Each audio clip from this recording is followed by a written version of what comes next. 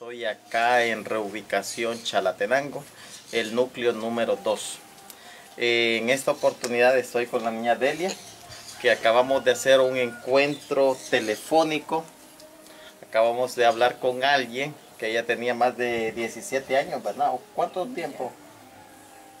Pues la muchacha ya tiene como, estaba tiernita y, anda como en 39 años. Entonces estamos hablando de, de, un reencuentro de 39 años, ¿se imaginan? Niña Delia eh, tenía una comadre que allá en la época de los 77, 79, eh, emigró la comadre. Entonces, y desde entonces ella ya no supo más de su comadre acá en reubicación Chalatenango. Se me asignó a mí para poder hacer este reencuentro. Por el momento lo hemos hecho telefónicamente, donde hemos constatado que por lo menos vía telefónica eh, se pudo llegar a hacer este sueño realidad. Ña Lili, para usted que va a estar en Los Ángeles, California, es en especial este video para que usted vea a su comadre. ¿Qué le va a decir a la Ña Lili? Pues yo no, me esperaba este momento. Es una sorpresa. Pues gracias a Dios que, con el tiempo hemos podido encontrarlo de nuevo, aunque no lo hemos visto.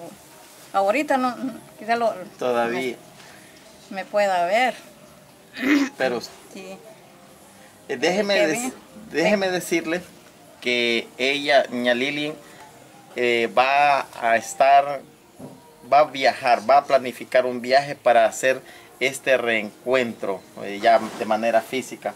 Eh, por lo menos vamos a optar ahorita con lo que es las redes sociales, Facebook o algo así. Pero ahorita vamos, ella, niña Lilin, va a ver este video, por lo menos para verla a usted. Entonces, y escuchar de primera mano sus impresiones. Y luego, si es posible, vamos a ser testigos de este reencuentro entre comadres. Así que unas palabras y para despedirnos. Yo la voy a estar esperando en mi casa con los brazos abiertos y me da mucho gusto haberlos reencontrado de nuevo, que los vamos a reencontrar porque no los hemos visto personal. Sí. Sí, pero el otro día vi a mi compadre, el papá de, de Beatriz. Sí, está siempre bien joven. Okay. Sí bien guapo está su papá. Y, gracias a todos ustedes, a estos medios de comunicación. Bueno, eh, con estas palabras nos despedimos y estén pendientes. Va a tardar un poquito de tiempo para que esto se dé, pero primeramente Dios lleguemos a un final feliz. Así que desde acá, desde Reubicación, el Núcleo 2, Chalatenango, se despide para todos ustedes Jason Galvez. Hasta la próxima.